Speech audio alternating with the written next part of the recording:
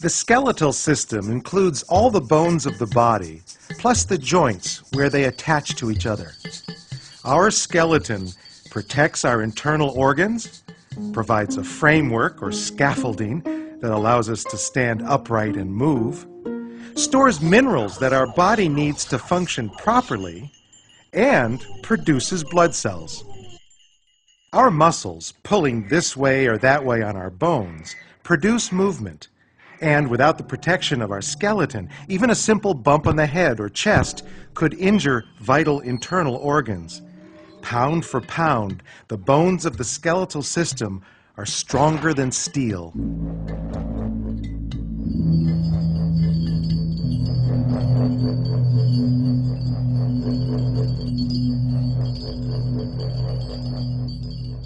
The skeletal system is made up of 206 different bones, which come in four basic shapes. Long bones, such as the femur, short bones like the wrist and ankle bones, flat bones, such as those in the skull or scapula, and irregular bones, like the vertebrae. There are two types of bone tissue compact bone, which is dense smooth and very strong, and cancellous bone, which is spongy and lightweight. Both types of bone tissue contain living cells, which help make repairs if a bone is injured or broken. A typical long bone has a main shaft called the diaphysis, composed of compact bone, and two ends called epiphyses, composed of cancellous bone. The main shaft is covered with a membrane of living cells called periosteum, to which muscles and tendons attach themselves. Inside the main shaft is a cavity called the medullary cavity, which contains bone marrow. Bone marrow stores fat, produces blood cells, and plays an important part in the body's immune system.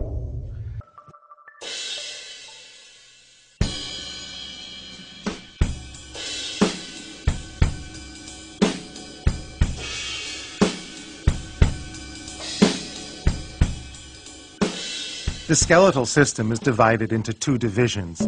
The axial skeleton, which consists of bones that form the longitudinal axis of the body, and the appendicular skeleton, which consists of bones that are appended to the axial skeleton.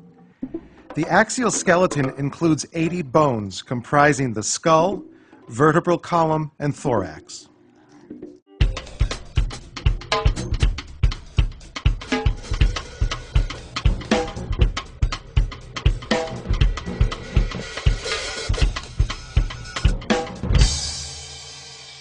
The appendicular skeleton consists of the bones of the shoulders, upper extremities, hips, and lower extremities.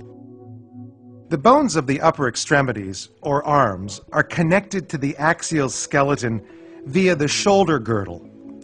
This consists of the scapula, or shoulder blade, and the clavicle, or collarbone. The arm itself is composed of the humerus, or upper arm, and the radius, and ulna of the forearm, plus the wrist and hand, which consist of 27 separate bones. Because of this large number of small bones, our hands are capable of more movement than any other part of our body. The bones of the lower extremities, or legs, are connected to the axial skeleton via the pelvic girdle, the longest, heaviest, and strongest bone in the body is the femur, commonly called the thigh bone. At one end, it is connected to the pelvis, and at the other end, to the lower leg, which is made up of the tibia or shin bone and fibula. The tibia bears all of our body's weight. The fibula bears no weight at all. The patella or kneecap is a large bone between the femur and fibula it protects the knee joint and tendons that form the knee. The bones of the ankle and foot must carry all of our body weight as we stand, walk, or run. And the 26 bones and 33 joints that make up our ankle and foot enable it to do just that. The entire skeletal system of an average adult weighs less than 10 kilograms. If you attempted to replace this with a steel skeleton that was just as strong, it would weigh 400 kilograms and still would not have the resilience of bone or the ability to repair itself.